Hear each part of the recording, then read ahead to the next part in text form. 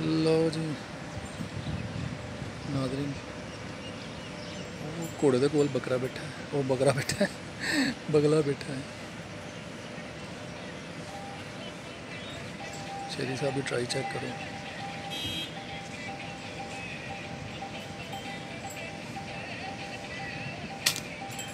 फड़ फड़ फड़ गो